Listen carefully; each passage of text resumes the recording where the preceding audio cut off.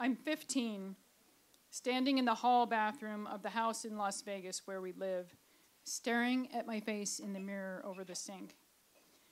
In my hand is a wet washcloth covered in blood.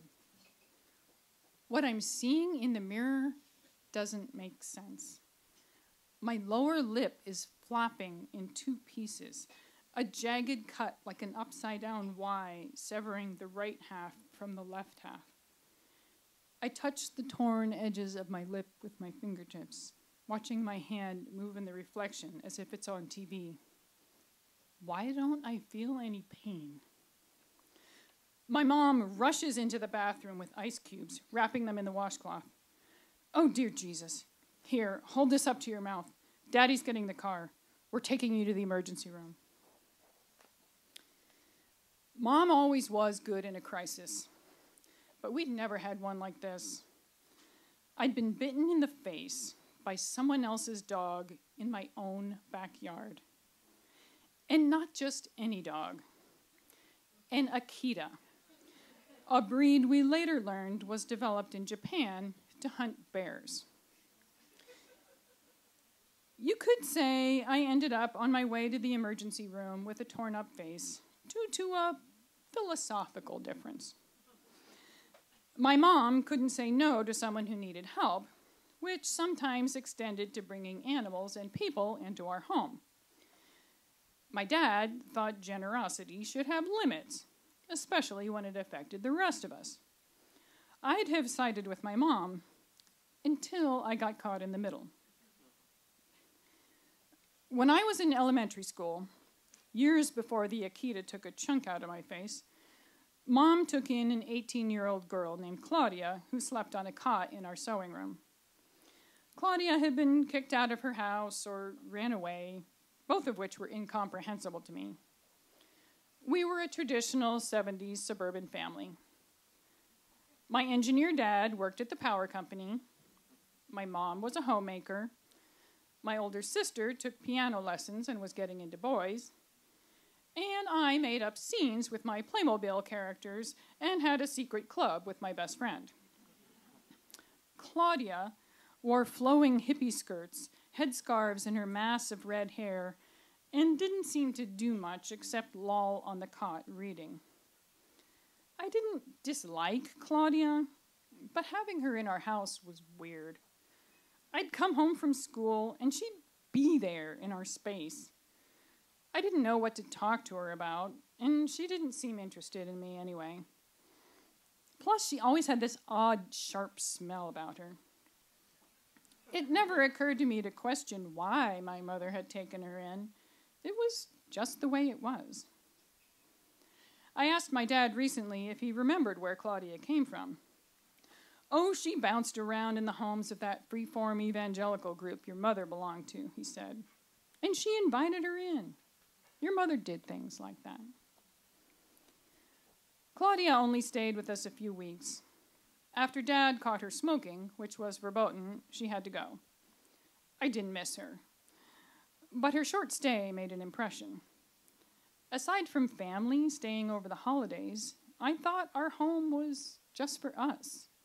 That I could come home and find a stranger living with us was unsettling. When mom's largesse extended to cats, it felt completely different. When I was a baby, a woman my mom knew was moving to an apartment that didn't allow pets. So my parents took in her Siamese brother sister pair. My dad loved cats, so this was not a problem. I grew up with Raja and Sasha as constant furry companions. Then the daughter of an acquaintance developed an allergy, so a beautiful Russian blue came to live with us. Later, we took in a shy one year old seal point. And once, a long haired white cat with blue eyes followed my mother home. True story.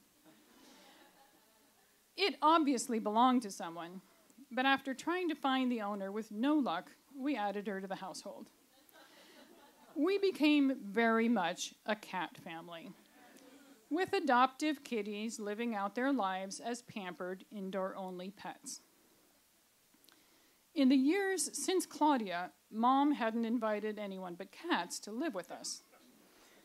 That is, until the summer I turned 15, when Maureen showed up. Maureen was a middle aged acquaintance of my mom's who'd been left with almost nothing when her husband died. She needed a place to stay while she looked for a job. Well, why don't you stay with us? My mom offered. My older daughter has moved out, and Louise will be at camp for a month. We've got plenty of room. That's when Maureen told her about the dog, her beloved Akita. She didn't want to part with him, but it was hard to find somewhere she could stay with a 130 pound animal. I don't know what the conversation was like between my parents when mom told my dad she'd invite us, invited this woman to stay with us, who, by the way, had a large dog. Dad was not a dog person. But he also didn't think it would be right to take back the offer. The two of them could stay until early September. The day Maureen and the dog moved in was the day Dad drove me to camp. Then he came home and saw a much larger animal than he was expecting romping around our backyard. Apparently, he pointed at the dog, hands shaking, and told my mom, You keep that thing tied up when I'm around. Turns out, not being a dog person was an understatement. The dog's name was Cato, like from the Pink Panther. And maybe that should have been a sign. It wasn't just that he was big, he was intimidating. He had a massive head with a black muzzle, thick jaws, and pointed ears. His dense double coat covered a body that was all muscle. Cato could have gotten the part of prison guard dog in any Hollywood movie. After a rocky start, when he walked right into our in ground pool and Maureen had to wrestle her wet, bewildered dog out of there, the first two weeks went well, according to letters my mom sent me at camp. Dad even conceded that for a dog, Cato seemed okay. But he still wouldn't go in the yard unless the dog was tied up. Maureen was gone a lot, so she conferred authority over Cato to my mom through some kind of dog talk. And it would obey if mom needed to chain it to a tree when Maureen wasn't home. After two weeks of camp, I came home for one night in my own bed and a home cooked meal. Mom told me how she'd played fetch with Cato a little, and I saw him through the window, but I didn't end up going outside. She hung my sleeping bag on a clothesline to air out overnight, and the next morning, as I was packing to leave for camp again, I went out to get it. Cato was standing nearby. I had no reason to be afraid of him, so I leaned over to give him a pet on the back. All I remember after that was one thunderous bark. and a mass of fur and teeth hurtling itself at my face. My hand flew to my mouth. It was wet and floppy. I started screaming and stumbled over to a sliding door that led to my parents' bedroom. The dog was now between me and the living room slider I'd come out of, and I was terrified he was going to lunge at me again. I pounded on the glass, and my dad, who'd been taking a nap in there, shot out of bed and tried to undo the lock, but he couldn't get it open. I'll never forget the panic in his eyes.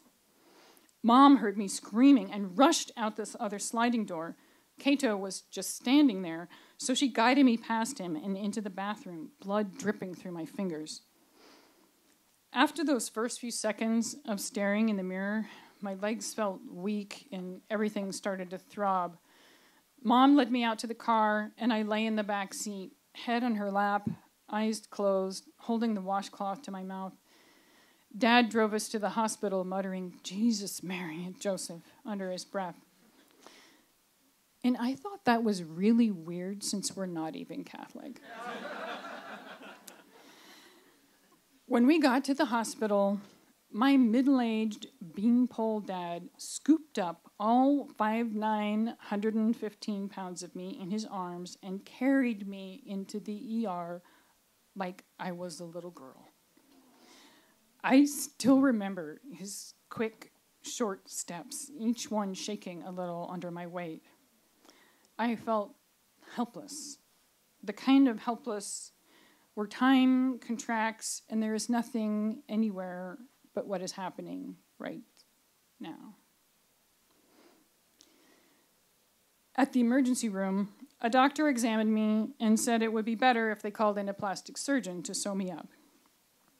The dog's canine tooth had connected at the bridge of my nose, leaving a star shaped gash before scraping down to catch my lower lip, shredding it in half. The adrenaline was fading and my whole face hurt. So they gave me pain medication while we waited for the plastic, plastic surgeon to arrive, about 30 minutes later. Waiting gave me a chance to start worrying.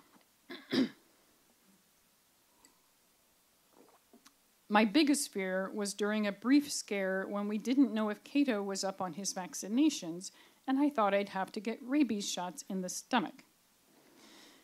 The thought of being scarred for life was so foreign that I couldn't even comprehend it.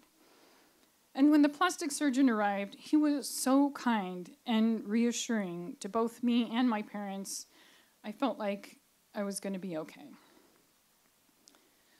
When I came home from the hospital that afternoon, I had one long running stitch along the reddening scar on my nose, a few shorter ones at the bridge, and black pokey stitches sticking out of my now very swollen mouth. I lived in a reclining chair for about two weeks while mom took care of me, feeding me soft foods from a baby spoon. Cato was quarantined for 10 days by animal control, and Maureen moved out. Later, we learned she'd had to sell him to cover the pound costs, and he was guarding a warehouse somewhere in Vegas. I pitied anyone who messed with that place. 10th grade started a few weeks later. On the plus side, I got out of PE for a semester.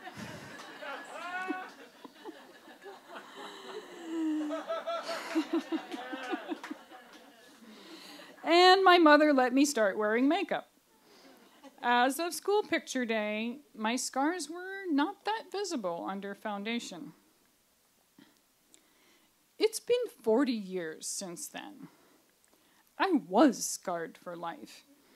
But the plastic surgeon did such a good job, and my scars have faded, so no one, tell, no one can tell I was bitten in the face unless I point it out. I don't even wear makeup anymore. The most lasting impact was I was now terrified of large dogs, although in recent years, even that fear has faded somewhat. I admire people who are willing to open their homes to others. It's generous and kind, commendable, really, things I aspire to be. But in practice, I take after my dad, concerned about how it will affect everyone else. I'm just not going to be that person who says, Well, why don't you stay with us? When one of our two cats died a couple years ago, thinking about how stressed it would make our remaining one to bring another cat into the mix, as much as I love multiple cats, makes me want to just wait until he dies and start over. I don't blame anyone for putting their existing household first. Because sometimes your best intentions can literally come back to bite you. Louise Julig, everybody.